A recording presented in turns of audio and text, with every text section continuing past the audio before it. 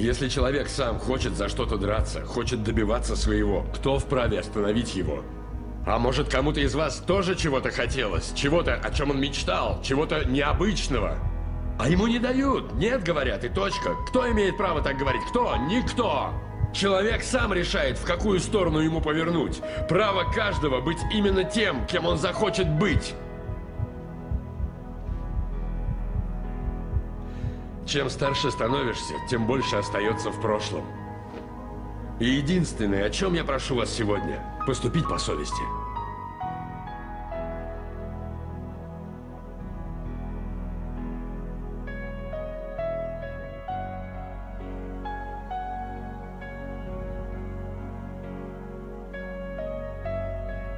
Талант — это хорошо, но это может быть и плохо. Если хочешь стать хорошим боксером, ты должен работать на пределе своих возможностей. Если ты не работаешь на этом пределе, то талант тебе ничего не даст. Другие обойдут тебя, потому что упорная работа — это основное. Надо работать так, как будто таланта у тебя вообще нет.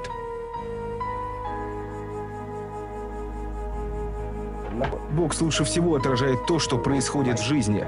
Когда получаешь нокдаун, ты должен встать. Все в своей жизни так или иначе получают нокдауны.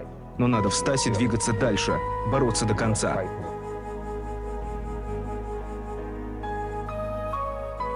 Из всех черт характера для меня главное – это вера в Бога.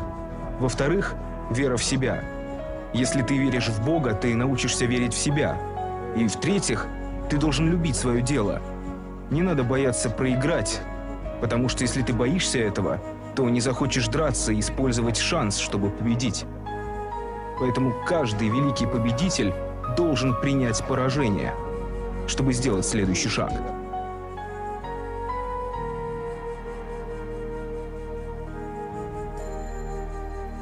Не надо давать себя в обиду, но и владея знаниями, э, владея боевыми искусствами, э, парень, спортсмен должен понимать, чем, что в его руках, э, что он необычный человек уже, что он имеет силу, что он имеет удар или бросок, он имеет знания такие, которые могут привести, нанести большой ущерб здоровью и жизни человека, пусть даже он не прав.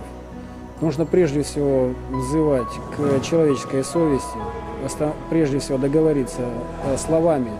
Но когда уже идет э, необратимая агрессия, когда уже идет зло, тогда только, когда идет ущерб, он старается нанести ущерб вашему здоровью или здоровью близких людей, здесь, конечно, то есть если творится зло, мы, как православные верующие люди, Э, должны поступить по совести, остановить это зло.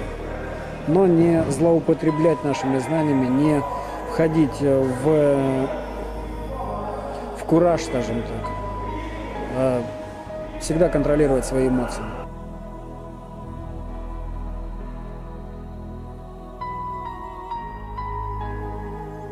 Не слушай никого, кто скажет, будто ты чего-то не можешь. Даже меня.